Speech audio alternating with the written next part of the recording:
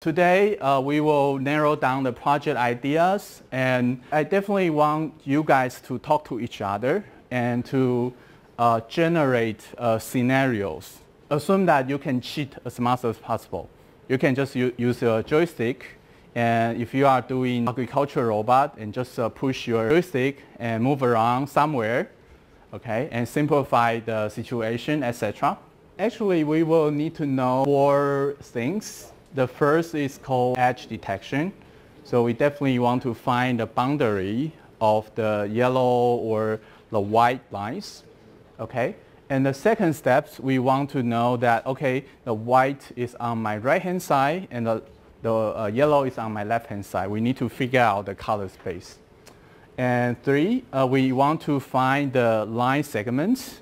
We definitely want to find, okay, this is the segment on the lens and this will uh, help us to generate the lane pose. Finally, because the detection happened uh, in the 2D uh, image uh, plane, we want to do a transformation from 2D to the real world. This is uh, one uh, ideal scenario that we try to figure out where are the edge pixels in an image. We can see something over here. Those are something we want, right?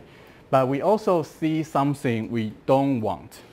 For example, uh, who can tell me what's, where are those come from? 巧拼的接缝, exactly. So you can see that especially, uh, actually we buy a two uh, slightly different colors of the, the tiles so that you can see uh, this is a, a little bit uh, gray and this is black and uh, our edge detector uh, figure out the difference and then also find the edges, edge pixels in the image. To do so, the Canny uh, edge detection is the most popular method to do this task.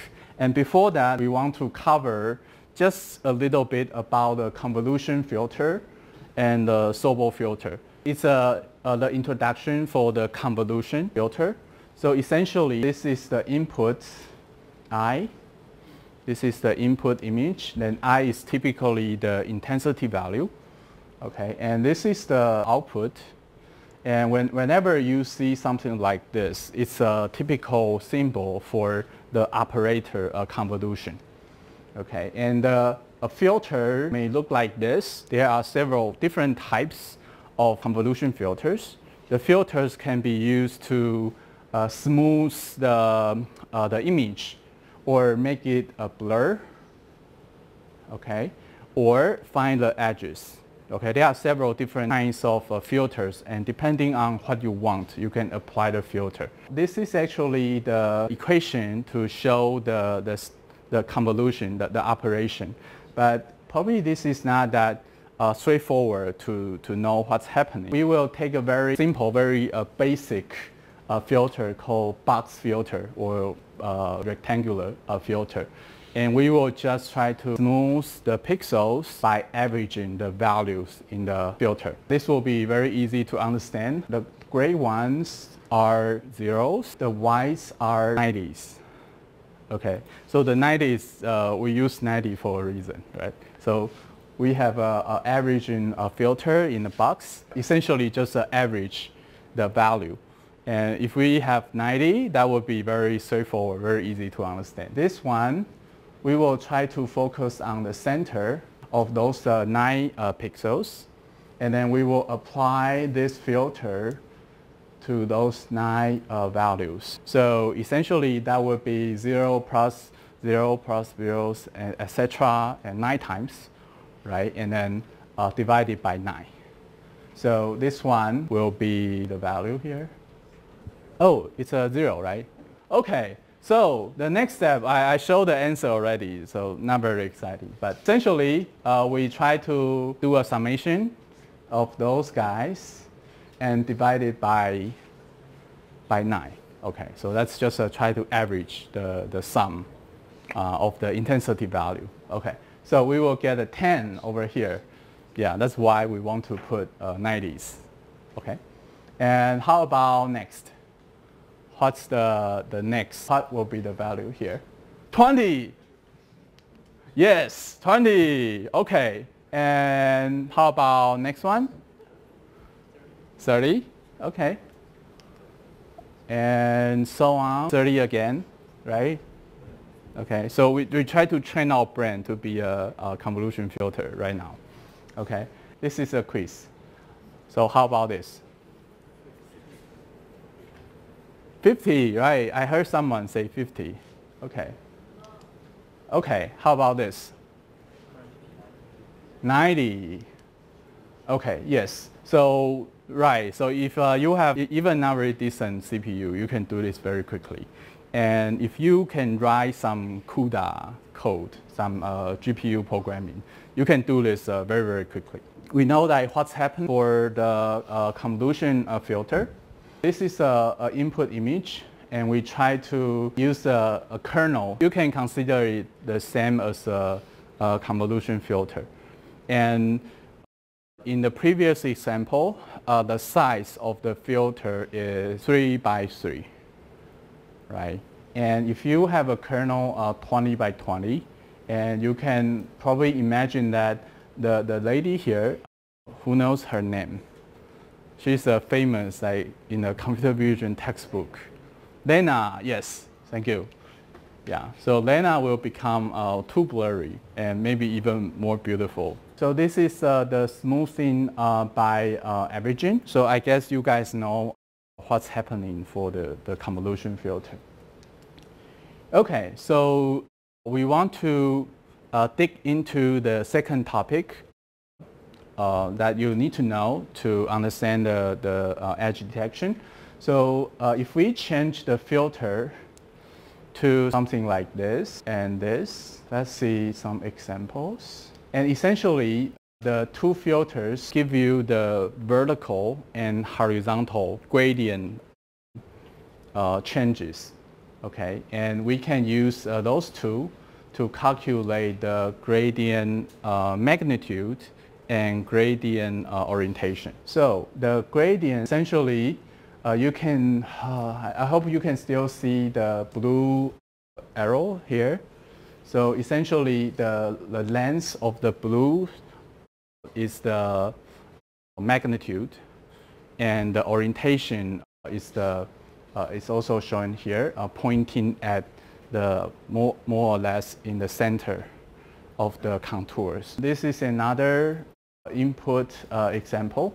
And when you apply the uh, Sobel filter, and you can see something like, like this. Okay. And this is actually pretty close to what we want already, right? In our first uh, example, we see the edges. Maybe we can take a look at those uh, pixels. Okay, you can see that uh, after we apply the Sobel filter, you can see the lines here or maybe here or maybe somewhere over here. The, the thickness of the, the lines are somehow different, right? And then this will somewhat cause some problems. So if you have a very thick lines and the, yeah, at some point if you want to fit it to line segment, it will become, uh, will cause some problem. Okay, but don't worry, we have the, the uh, edge uh, detection. This is uh, just uh, what I just talked about. We may have a white, very the, thick uh, lines uh, because of high uh, gradient magnitude. Okay, this is one important uh, step uh, in the Canny that can just uh, try to find the, the maximum value uh, of those high gradients. Suppose uh, we have the grayscale image. So this is the IXY, right?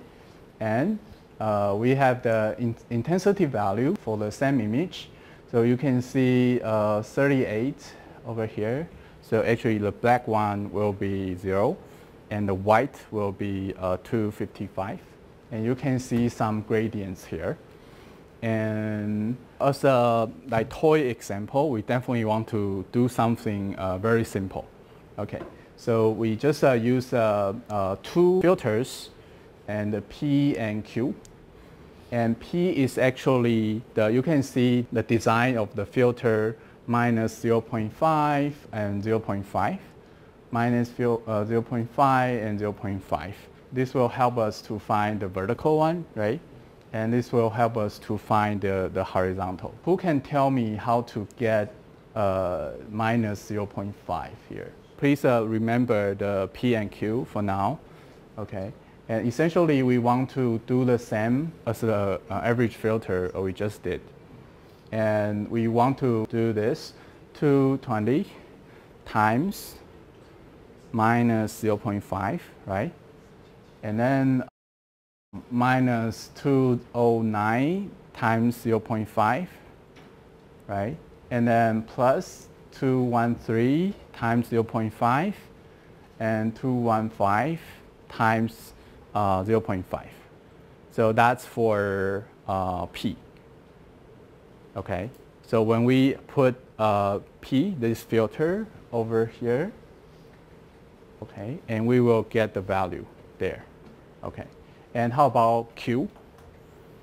The Q is easy, then we, we just uh, do the same thing, uh, apply minus 0.5 to those two pixels and 0.5 to those two pixels.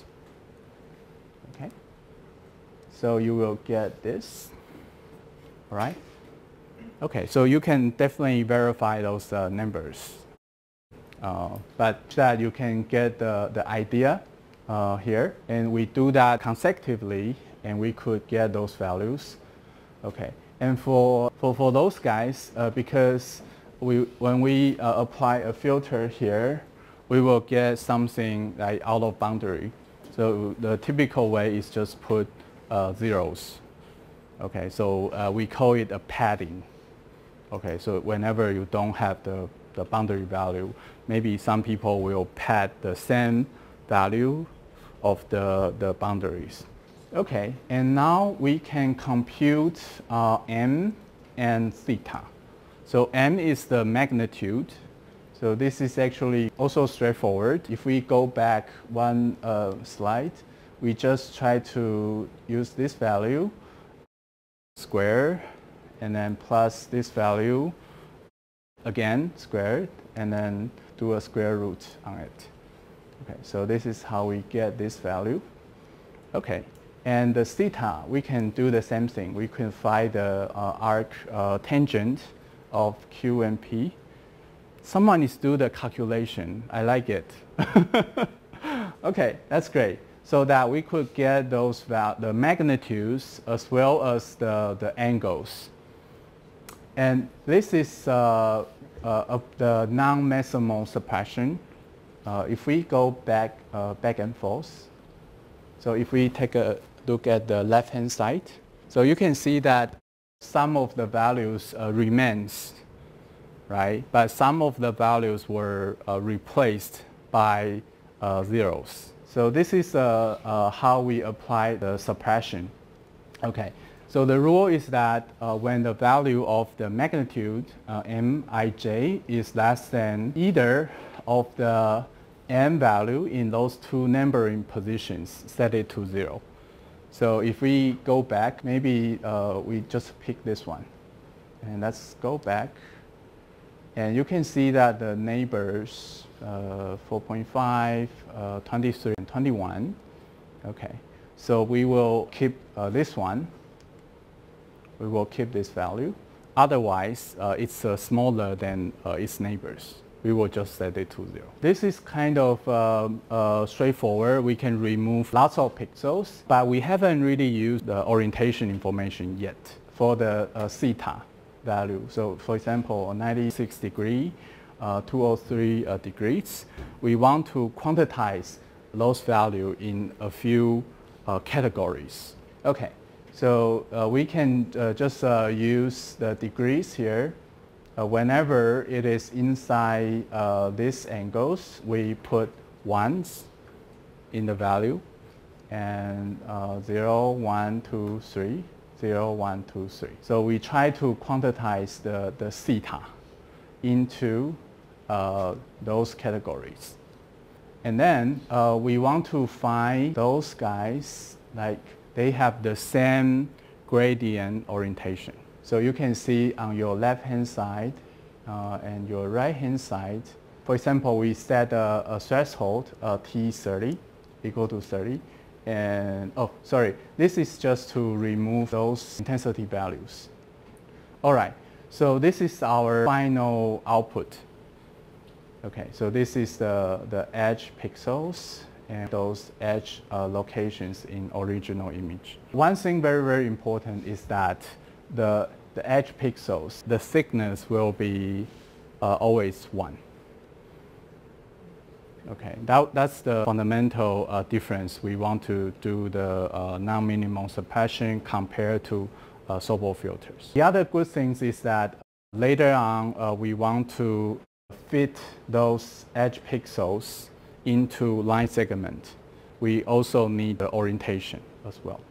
Okay, and you may, you may find that, wow, that's a lot of work, right? So I, if I implement everything by myself, then that could take lot of, lots of time. But the, the good thing is that the Duckietown, we already prepare everything for you. So yeah, you can see the edge images from the original one.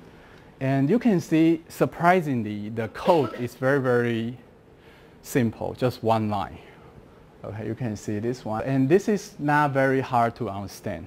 Import CV2 and NumPy as NP. It just uh, have a name for it. And this one is for uh, drawing. And this is kind of similar to uh, MATLAB. This is ex extremely similar to uh, MATLAB.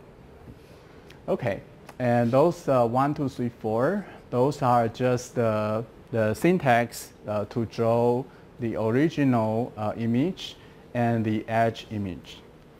Okay, and the actual computation happened here. Okay, just one line.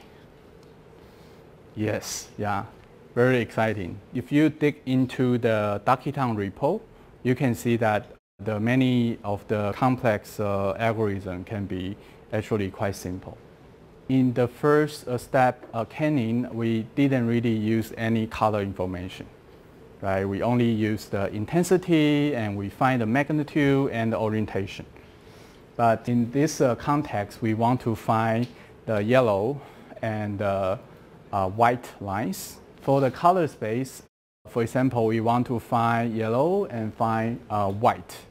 So one very, very simple implementation could be what's the uh, RGB value to show yellow and what's the RGB value to show white.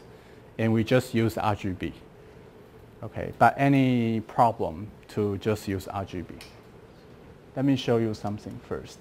Tell me uh, if this color and this color, are they the same colors? Pretty much, pretty close, right? Okay, no? Yes? No? Yes? Okay. How about this? Let me try to put the rectangle back. This one and this one. Kind of different, right?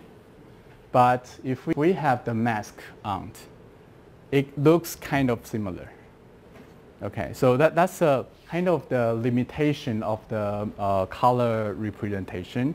And this is especially for uh, human eyes. Okay, but this is an example uh, want to tell us that the illumination. So suppose uh, you have different light condition, different uh, light source. If your light is uh, yellow light, then white will look kind of different from the real white uh, in your camera. Okay, so because of the, the illumination changes, we want to do some transformation to get rid of this and at least make it more robust. What we did in Duckietown, so uh, we uh, want to convert the RGB uh, color space into uh, HSV. Okay, and the H means uh, hue, saturation, and value, or, or someone also have a, a HSI, or called intensity. You can see uh, especially for the color, the hue is, um, it can make our color detector much more robust because when we convert it to uh, hue, you can see the color next to red will be kind of together, right? And the blue, you can see the red will be kind of together, and the blue here, and uh, some other uh, colors. Okay, so let's take a look at the example. Okay, so this is, uh, we want to combine the, the Canny uh, edge pixels from previous uh, section and put together with the color so that this is uh, an uh, intermediate output of the Canny plus color. So right now I only show you the output for now. But again, um, in Python it will be just uh, one line, maybe one or two lines command to do this, the color space uh, transformation.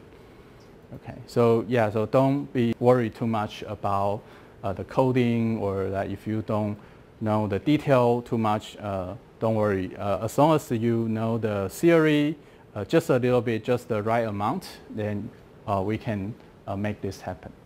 So we, we already have the edge pixels. we also have the color space to get yellow or white edge pixels. And now we want to uh, fit those um, edge pixels into line segments. And one popular uh, method is called uh, transform. And actually there are some other methods, for example, the uh, least square, right? If you go back to linear algebra and uh, you want to fit uh, several points to a line, for example. Okay, so and today we will introduce uh, Hough transform so this is uh, different uh, scenarios. Actually, Hough transform can be used to detect not just lines, but also uh, circles or other shapes. One thing you need to remember is that it's a voting uh, mechanism. For example, every pixel, it will vote to an, uh, a different uh, coordinate system. Okay, and we have an input and an output space. Okay and the winner, which uh, received the most votes, uh, will uh, actually uh, what you want. So this is an example. So we want to fit a line. This is the x, y coordinates. So one very uh, straightforward idea would be uh, we just use the slope as well as the intercept, right? So we have the m and we have a c over here. Okay, so we have a line over here. And now we want to create uh, output space. The space is based on M and C. A line will become a point in the space, right? And how about a point?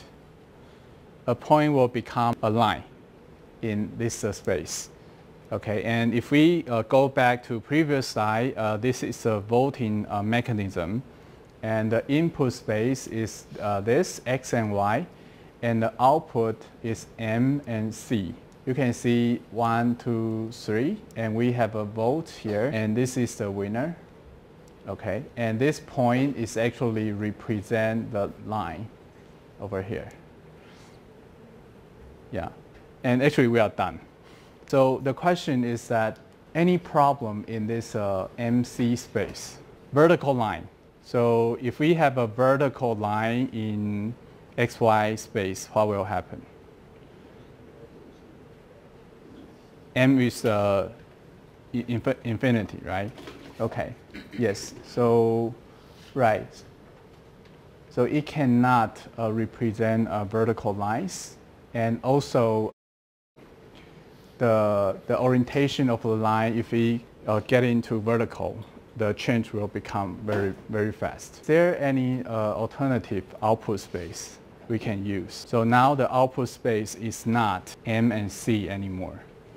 We want to figure out something else. So this is one typical way to do this. So this, uh, we will use the theta and the R.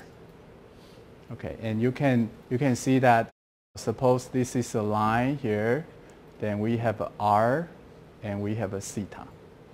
Okay, and this will become a one point in this space.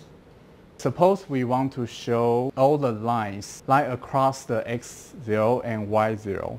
We will have to draw uh, all the possible lines. So what, what we are trying to do is that we want to uh, represent a point in the theta and r uh, space. So what the space will become. This is uh, the theta and this is the, the r. So actually uh, each uh, point will become a sine wave in the output space. We have three points and the three point will become three uh, sine wave and the intersection here will be a line. So let's try, uh, this is uh, xy. And this is uh, uh, r and theta space. Okay. And uh, a line. Okay. Okay a line here will be what in, in, in this uh, space?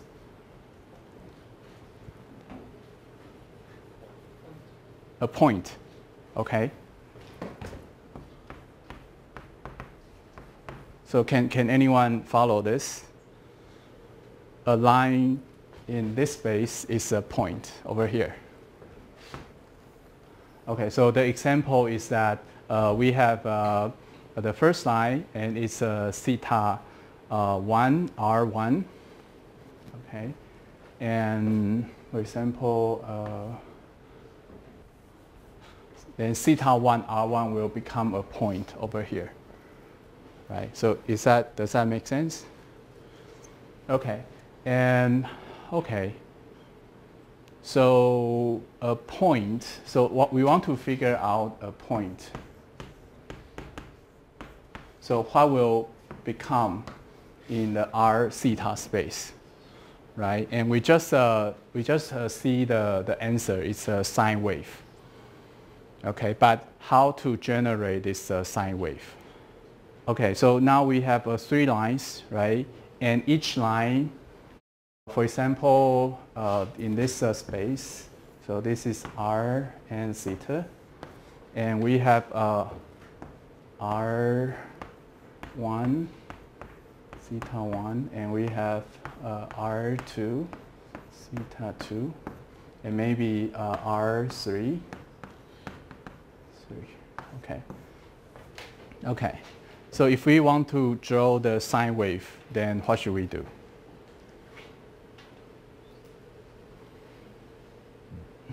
Suppose we have more lines crossing the point, then actually we can we can fill this in.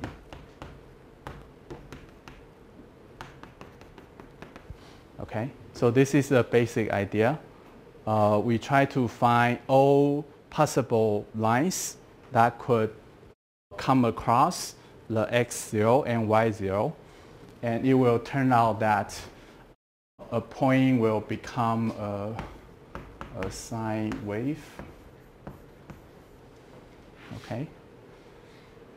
And then later on, uh,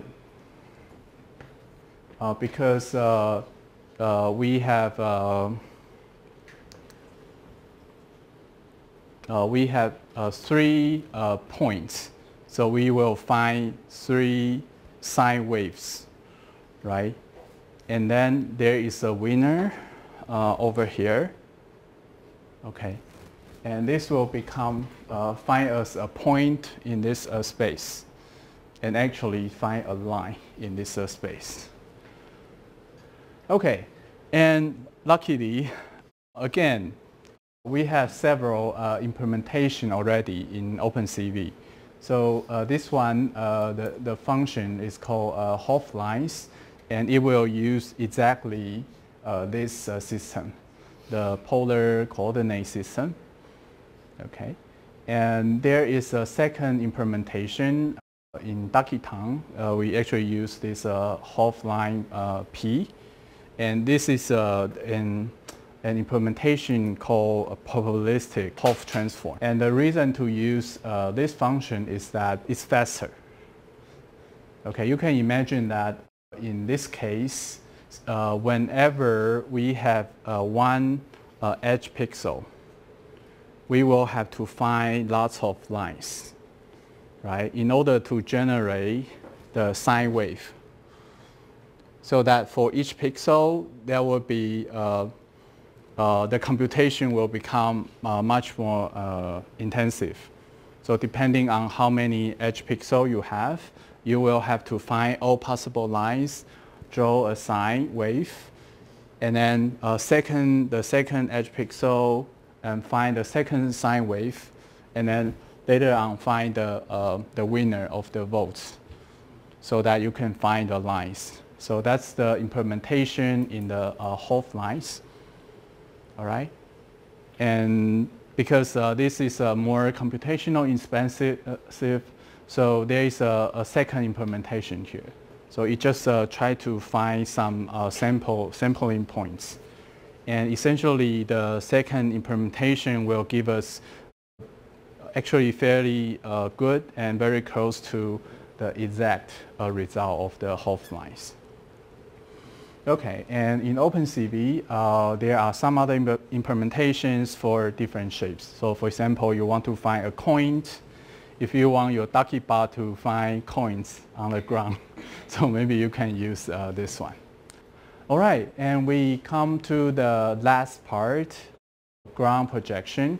So uh, in previous uh, section, uh, we used the Hough-P, uh, probabilistic Hof transform, to find uh, line segments, but they are on the image plane. We want to project those lines to the ground. So uh, we will start with uh, some pinhole uh, camera. Essentially, uh, this is the image plane and this is the uh, real object. We assume that this is a pinhole camera and we have those uh, projections here. Okay, and again, the perspective projection, we want to project 3D objects onto a 2D surface, just like this candle and put it here. So this is a typical camera uh, parameters. This is called a focal point in x direction and or y direction and cx, cy's, they are uh, principal uh, points okay, in x and y uh, direction. Okay, and this is a skew uh, parameter and but we typically don't use uh, this skew parameter too much. As you can see in the Duckiebot, uh, it's a fisheye camera so that uh, the image will look something like, uh, probably like this, right? And then we need to do uh, on distortion based on the camera uh, parameters. If you put your Duckiebot uh, in front of a checkerboard, and you can see something like this. So this is a step D, right? Okay. And then this is the original image and this is the ideal undistortion image uh, after we do the calibration. So for the camera calibration, we actually need to do it in two steps. Okay, the first step is called intrinsic uh, matrix. So that's, we want to um, do the, find the fx, fy, cx, uh, cy, and s Okay, that's for intrinsic calibration. And the second one is called uh, extrinsic uh, matrix. And the extrinsic is try to find the relative uh, transformation from the image plane to the 3D world. So you will need a checkerboard and uh, the calibration procedure is basically that you have a few uh, known points in the 3D world, capital X, Y, and Z. And then you have the image coordinates uh, in the pixel uh, X, Y, and 1. Okay, and the, the basic idea here would be that you, you have your checkerboard and you put it in front of your uh, Duckiebot and move it in different uh, position. You will have to fill in uh, four bars, right? So X, Y, and I think also maybe also distance. So we will, we will want to uh, sample uh, lots of uh, uh, checkerboard images okay, in order to calculate the parameters. So when you, when you do the camera calibration, you will have to show it in different angles. So something like this. Okay, and typically uh, we will need uh, 20 to 30. So in order to get a good calibration.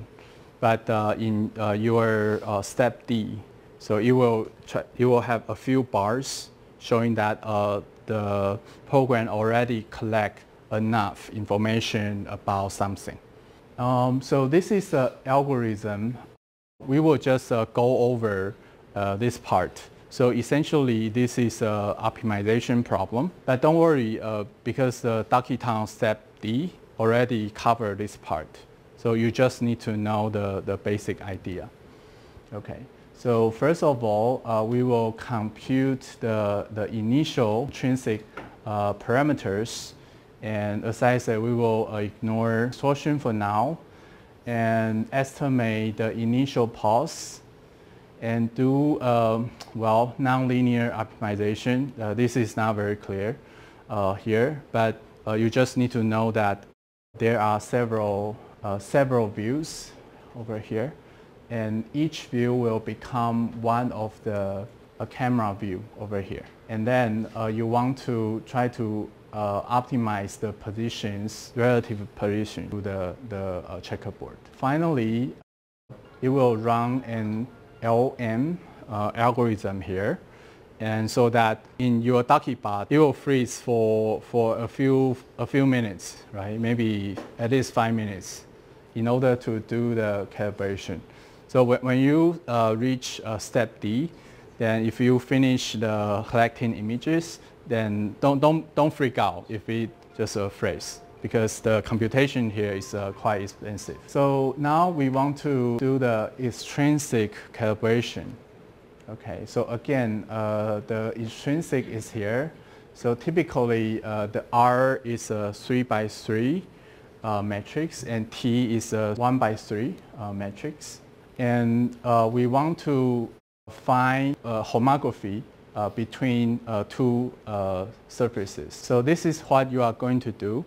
We print this in a a A4 page and then Actually, we already know what's the relative distance from those two points to every single corners in the checkerboard. That's why uh, we know how to do calibration automatically. Okay, so if you print this uh, page in a different size, that will be a different story. So yeah, please uh, put your Duckiebot uh, in front of the, this uh, checkerboard and then it will do uh, calculate the homography for you. So this is the, exactly the same uh, application that you can see if you put your car to a reverse, some of the car will show a, image.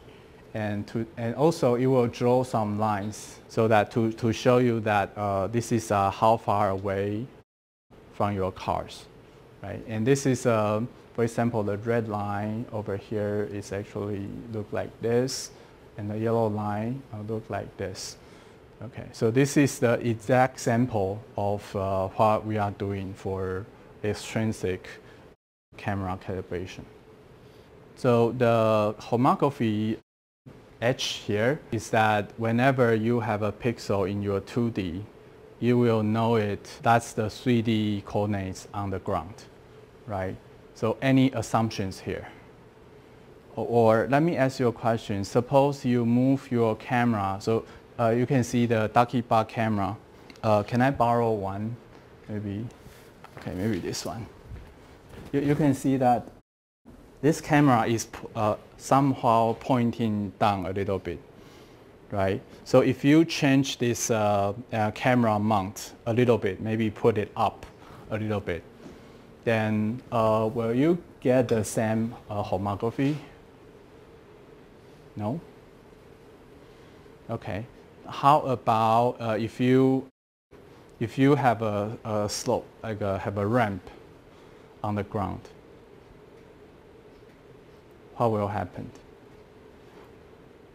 The point you get uh, in the 3D uh, uh, will become uh, a little bit closer to you, right? Okay, so the basic assumption here is that first the camera is fixed the angles, especially the pitch, okay, and, and roll,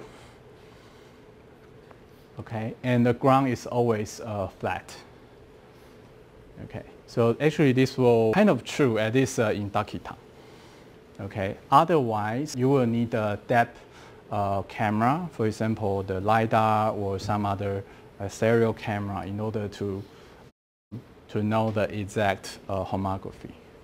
Okay, but for the Duckietown and in many general case, one, just one homography after you do extrinsic camera calibration will be good enough. Again, we, we already have the camera calibration uh, step D uh, available. And after you finish uh, this uh, step, you will get two files. One is uh, about um, camera intrinsic and the other is a camera extrinsic. Okay, and let's take a look at uh, what the file looks like. So this is the intrinsic after you do the camera intrinsic calibration. And the, uh, this is uh, the camera matrix. So this is the, the matrix I just showed you. Uh, so it will be something like this. Oh. This is uh, fx uh, 0 uh, cx. Okay, something like this. And the last one, last one should be 1, right? Okay. So this uh, the camera matrix here. Uh, this is uh, 3.316. Uh, uh, this is the fx. And you will get a 0.